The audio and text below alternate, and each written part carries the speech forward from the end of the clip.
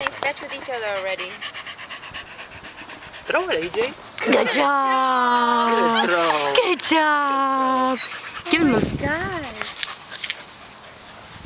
He's like, one day I'm gonna throw that part.